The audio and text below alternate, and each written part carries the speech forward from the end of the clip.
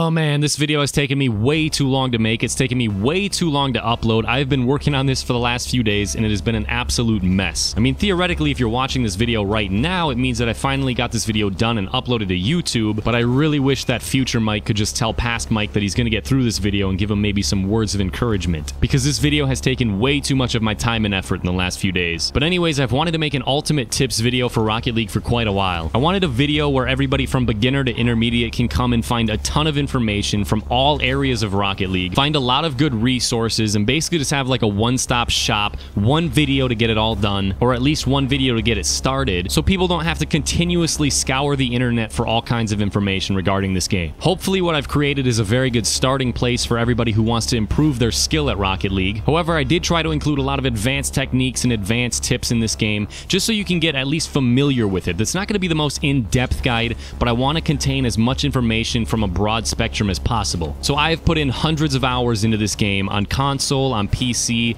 at 60 frames per second, at 144 frames per second. I have made several videos on the game with well over a million views just on my Rocket League content. Granted, not all of it is tutorials, but most importantly, I have made a ridiculous amount of errors in this game that have taught me a lot. First and foremost, I just want to point out that I am not among the best players in this game by any means. I am not a professional Rocket League player. I just realized it sounds like I'm giving stock trading advice on YouTube. Like, do I really have to say that I'm not like a professional just to give out advice? Is this what YouTube has become? Well, yeah, Mike, otherwise you get roasted in the comments. Yeah, good point. Basically, what I've done is collected information, tips, and tricks from many different videos. I watched so many videos this month. I've tried to find many different playstyles too so I can give like a well-rounded analysis of the game, and also I'm including a lot of information that I myself have found over playing this game. The knowledge that you gain from this video is going to be curved along your personal skill level. If you're in the prospect skill rank, you're probably going to be learning so much that you want to pause this video at times just to soak it up. However, if you're a superstar rank or higher, don't be surprised if you already know most of this content or this content isn't going to help your game out a lot. It's not going to hurt to watch this video, obviously, but I just want you to know up front, this is not a video that I tailored for superstar rank or higher. Most of the stuff that I talk about in this video is going to be relative to a 2v2 game mode, but it still applies in 1v1 and 3v3 game modes. 4v4 gets a little bit chaotic, hence the name, but this isn't just doubles tips in general. This can be applied across the spectrum of Rocket League. But anyways, I'm to get on with the video that took me way too long to make. Like, I seriously need to get a life.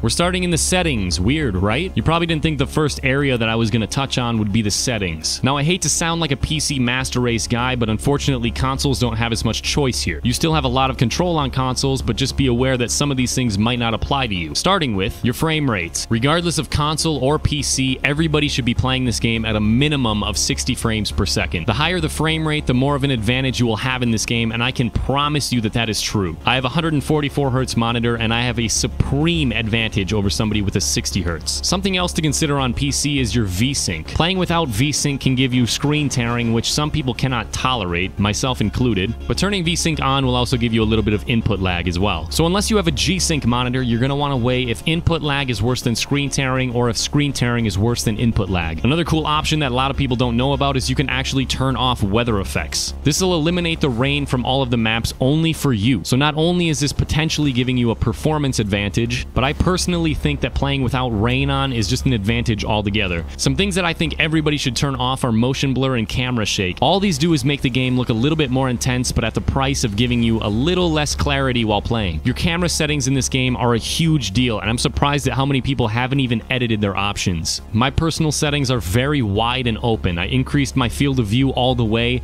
I have my distance set back, and really the main things that you want to touch on here are your field of view and your distance. Your field of view is set at 90 degrees by default default, but you can set it to 110 degrees max. This will open up your playing field and you can see a lot more information, so I recommend that everybody at least tries 110 degrees and see if you can still make good contact with the ball. Distance is a little bit more subjective. I personally like it very far back so I have an even wider view, but some people cannot stand a camera being that far away from their vehicle. The rest of the settings are very personal to how you play. I recommend trying a lot of the pros camera settings and then seeing which one you like the most and going with that. I'll include a chart containing most of the pros camera settings in the description description. Controls are also an area that you're going to want to edit before playing. I use a PS4 controller myself, so if you use an Xbox controller, just adjust accordingly. But your controls are also something that are going to be very subjective to how you play. But there are a few things that I recommend everybody does. First of all, what you can do is move your boost button from circle to square or even a bumper. Moving boost to square gives you a slightly easier angle at hitting the X button to jump, and moving it to a bumper gives you access to boost with both thumbs on the thumbsticks and X. I have my boost set to square, and then I moved my air roll and power slide to L1. This allows you to adjust the car in the air and you can still leave your thumb on the boost button. This also means it's much easier to power slide while boosting as well, which is very important.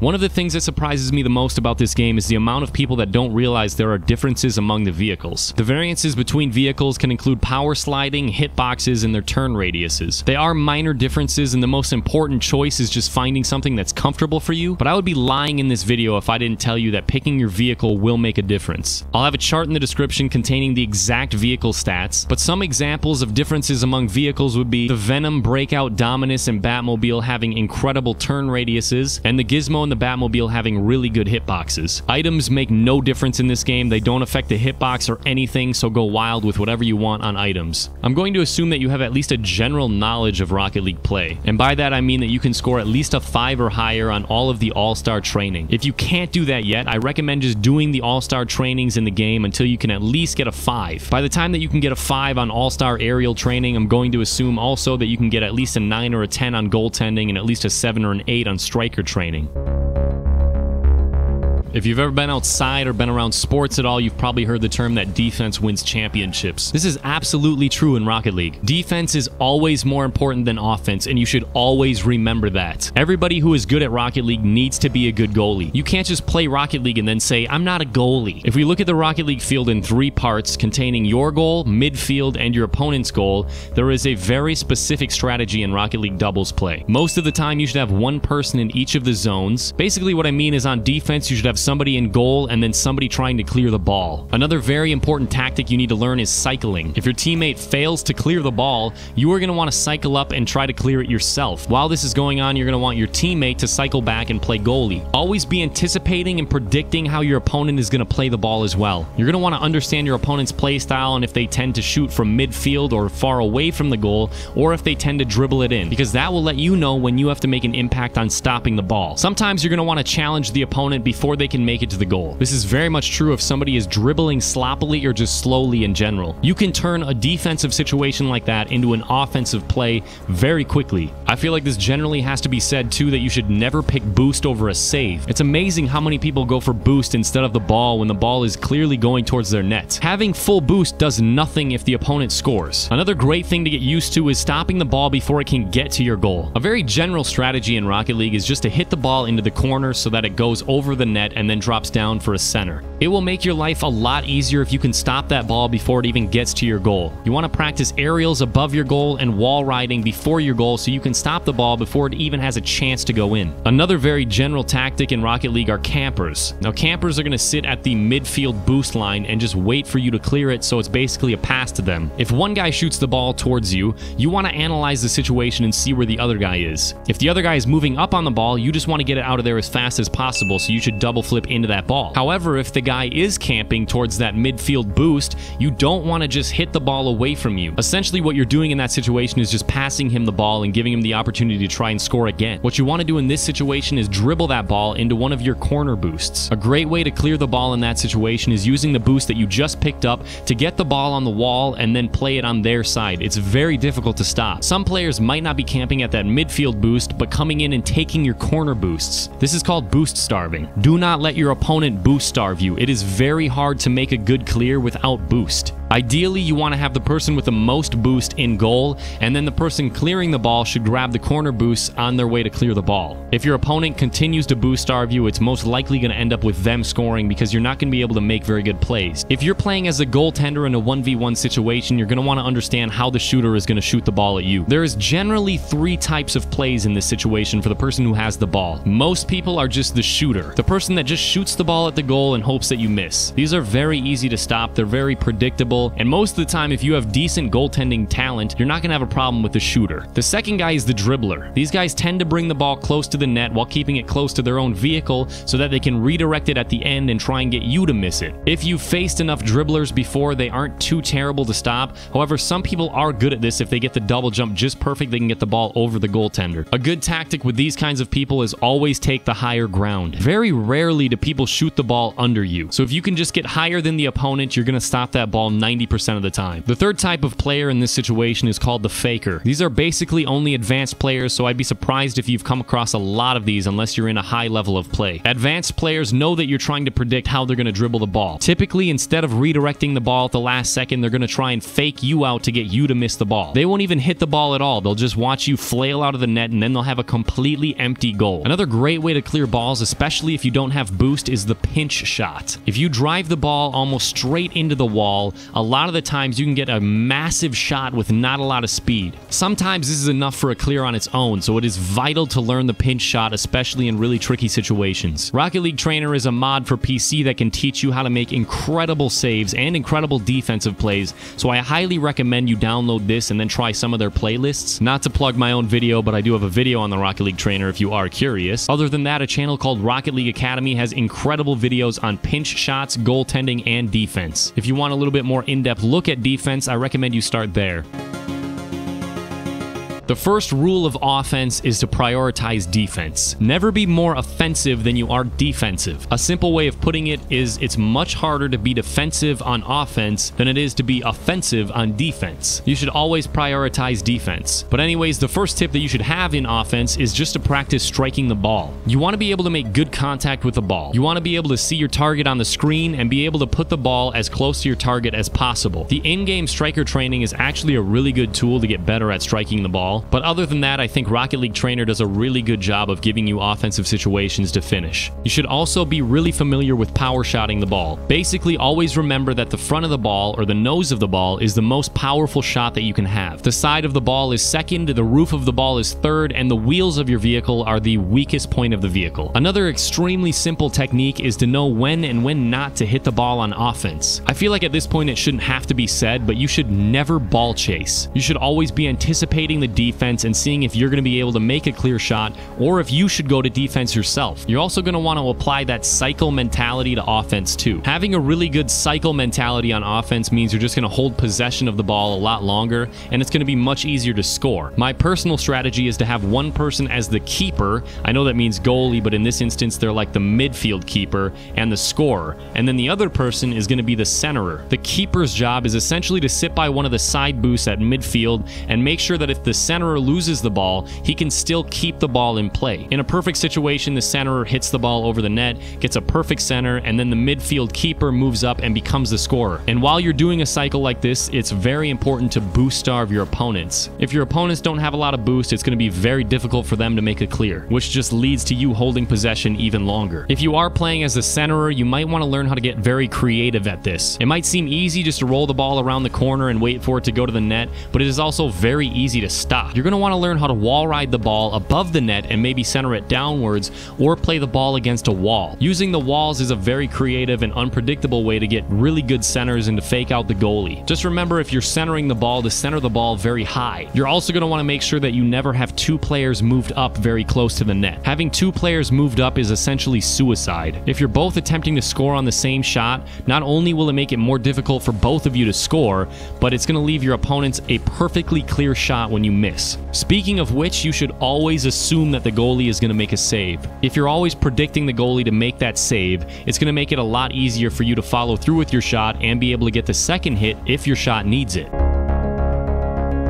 Now, there's going to be situations on offense too where your opponents are nowhere near you, and you're going to want to know how to dribble the ball effectively. Dribbling is vital to both offense and defense. One of the tricks a lot of people like to do for offensive situations if there's no one near them is a move called the tap and smash. This is most useful when you have a lot of time and space and if there's somebody in net. Essentially, what this is is just a soft hit in the air and then a follow up aerial shot to throw them off guard. You'd be surprised how often this catches goaltenders and defenses off guard. You can also not do that and and just dribble the ball in general and try and make a play on the ground. The best way to get better at dribbling is just to jump into free mode. You're going to want to try and get the ball on the sides and find out how far it has to be on the hood before it goes over your vehicle. You're also going to want to test out speeds to see how fast you can go or how slow you can go while maintaining ball control. You should typically practice dribbling without ball cam on because it makes it much easier to anticipate how your opponents are reacting to it, and it actually makes it just a lot easier to maintain ball control too. Cole over at SubParbutinHD made a very good video on striking the ball that I'm going to put in the description as well. There are two very basic ways that you can dribble a ball and then two ways that the opponents can react to it. In a really good Kronovi video that I'm going to link in the description, he explains this as four levels of ball control. Basically, the first way that you can dribble the ball is just to redirect it right before the opponent goes for it. In a perfect situation, the opponent's going to miss the ball and you're going to have a free shot. If your opponent catches on to this,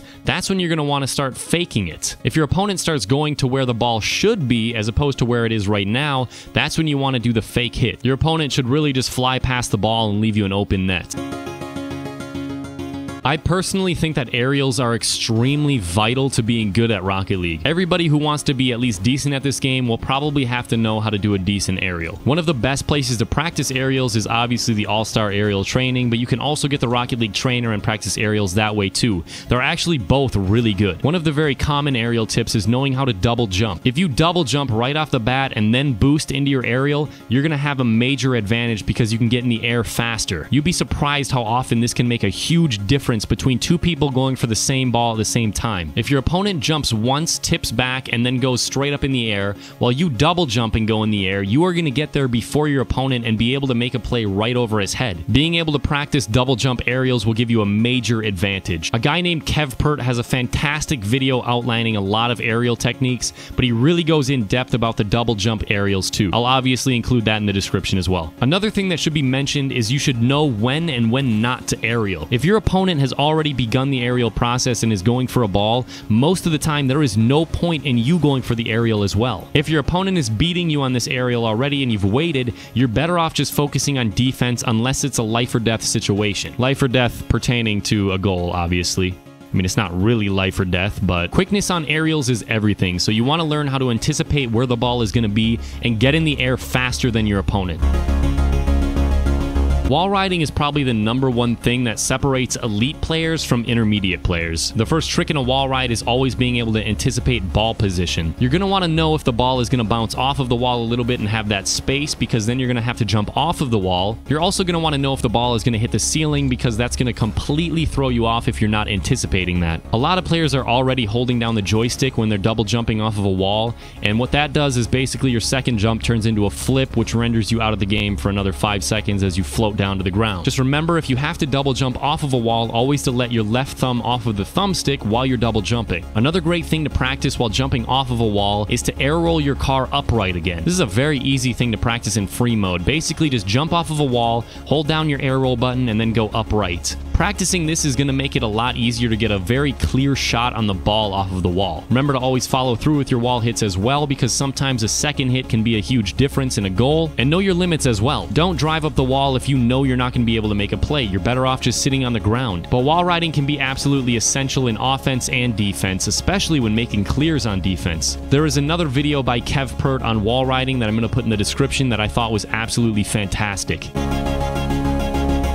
Face-offs are one of the areas in this game that I am not that strong in. I tend to play it safe and just double jump into the ball at the last second. However, some of the things that I do know about face-offs is you always have to be reading your opponent and seeing what they're doing. If you use the right thumbstick just to check over the ball once in a while, you're probably going to find that your opponents aren't going for the face-off at all. If you know this ahead of time, you can get a clear shot at the goal. You also want to know if your opponent is delaying their face-offs or if they're going in at a really weird angle because that can give you an advantage too. Some other things that I do in doubles play is just to switch things up up through the course of a game. You should occasionally try to stall the ball in the middle and have your teammate come up and make a play on it immediately, and sometimes doing a delay hit can give you the opportunity to get the last hit in the face-off, giving you the offensive control. A channel called MasonRL90 has a very in-depth face-off tutorial if you want to learn more about doing fast face-offs. Hopefully I have at least given you a good start and some good resources to learn more about getting better at Rocket League. There are a lot of fantastic channels, honestly. Like, I don't even consider myself good most of the time, but there are some really really good Rocket League tutorials, like entire channels dedicated to Rocket League tutorials